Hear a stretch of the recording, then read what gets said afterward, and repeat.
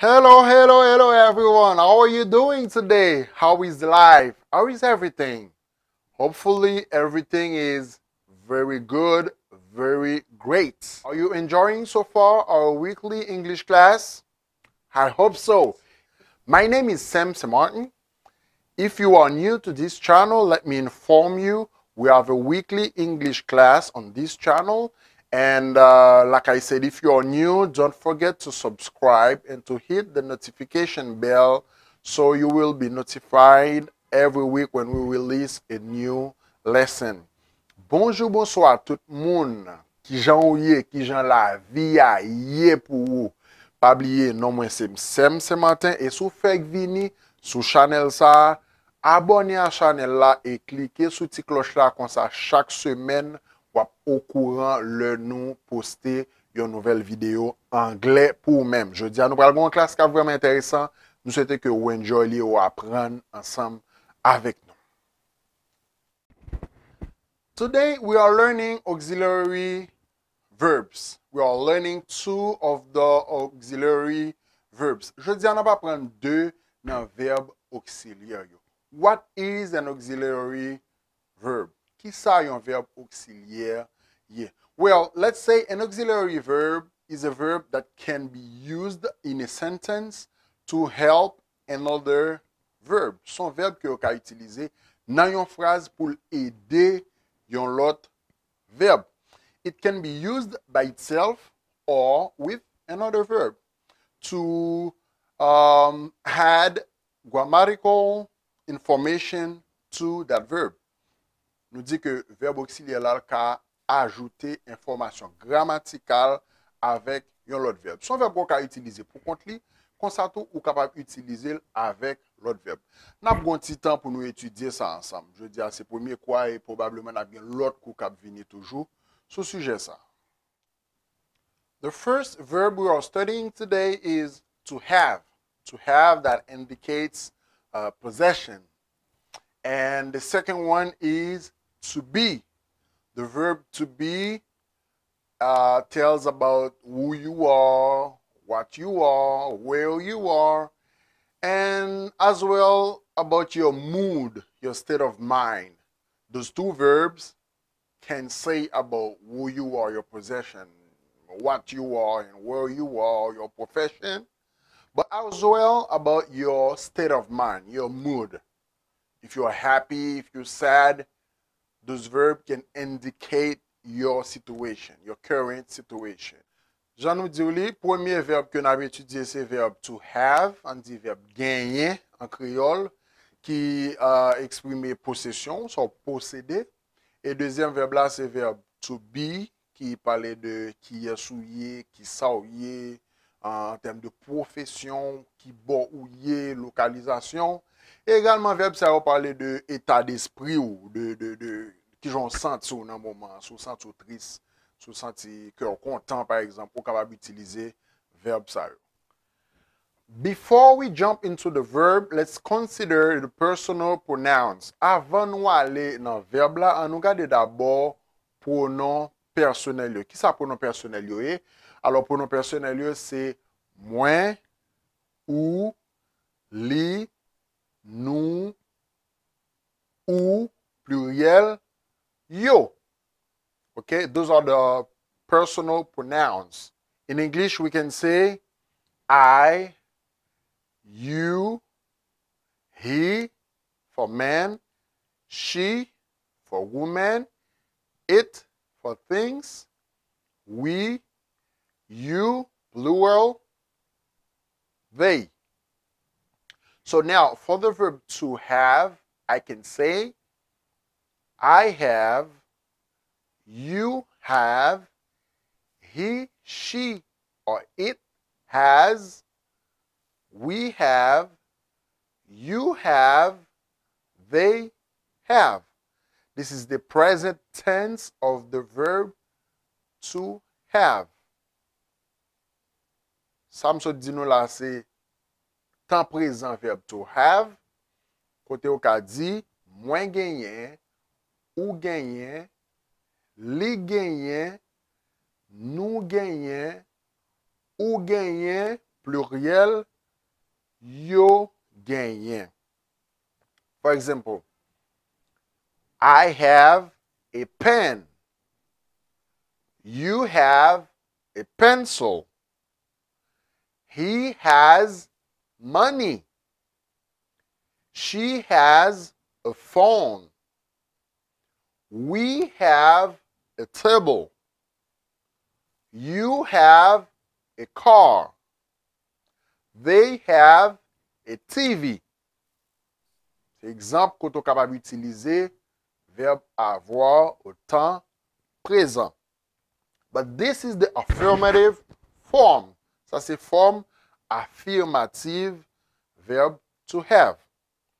Now, for the negative form, you just need to add do not for the first and the second personal pronouns and does not for the third personal pronoun, singular. Pour forme négative là, on a besoin d'ajouter do, not ou bien don't pour contraction pour capable une forme négative verbe to have. Et pour troisième personne du singulier, il pas do not lap, does not ou bien doesn't. Can you say it? Doesn't. Okay. Now, for example, let's say I don't have a pen. You don't have money. He doesn't have a car. She doesn't have problem. We don't have solution. You don't have a computer. They don't have a TV. That's the negative form of the verb to have. But that's not it. Samson Banula, c'est form négative verb to have. Men li pa fini la. Gen osi form interrogative. Interrogative form. Nyan, pou forme form interrogative la, wap bezwen mette do, ki se yon lot auxiliary verbs. Ok? Yon lot auxiliary verb. Wap bezwen mette do, then you have. Dou, devan verb avor la pou forme form interrogative la. Do I have money? Eske m gen l'ajan? Do I have money? Do you have an appointment today? Does he have a bicycle? Does she have a motorcycle? Ou ka remanke ke le mette does he, mba di has, but does he have? Or he has. Lo ap repon wap di he has. But for the question, does he have? Do we have to go to the party tonight? Do you have an appointment with your mother? Do you have to go to class today? Do they have to spend their money? Ça, c'est façon qu'on capable d'utiliser forme interrogative là pour verbe avoir.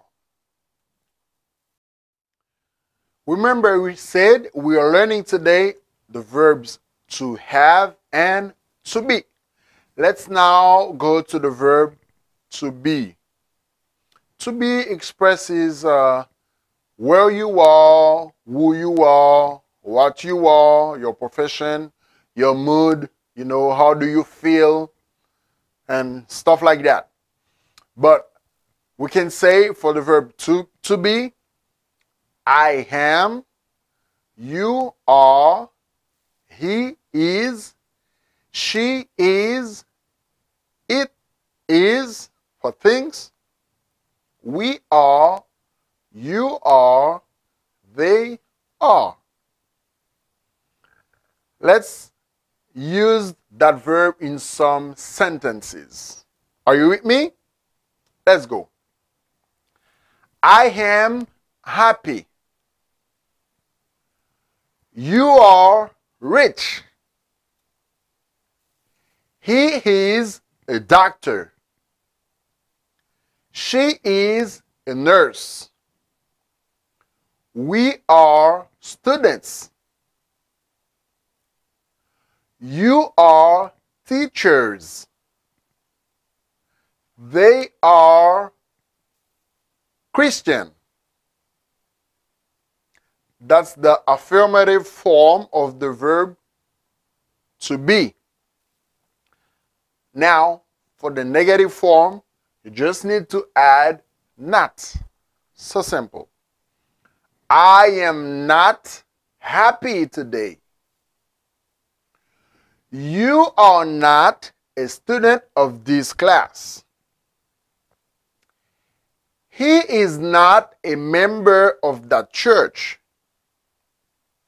She is not a nurse. We are not members or we are not student of the school. You are not drivers. They are not Christian. That's the negative form. Now, for the interrogative form, so simple, you just need to reverse the verb. Am I? Are you? Is he? His she? Are we? Are you? Are they? Now you're going to do an exercise for me. I want you to um, use in your own words, your own sentences, the interrogative form of the verb to be. And leave it in the comment below. So today we learned that there are two, I mean, we learned two of the auxiliary verbs to have and to be, and when you can use them to help other verbs or by themselves. And we know as well those verbs can be either in the affirmative form, negative form, or interrogative form. Now I want you to leave me some sentences below in the comment below with your own words. That's all we have for today. Enjoy this lesson. I will see you next week. Don't forget to subscribe if you haven't done so Yeah, don't forget to subscribe and to hit the notification bell. Se tout sa ke nou genyen pou jodi ya, pa bliye sou pou kwa abone avèk chanel la pou abone. Donk nou te apren jodi ya, verb to be and to have ki bo ka utilize yo oh. form affirmative, form negative e form interrogative. Pou nan mta remen ou men, pou ta kite pou mwen kelke fraz nan komantèr ki an ba a, ou eksprime la vek mou pa ou. An ale, see you next week.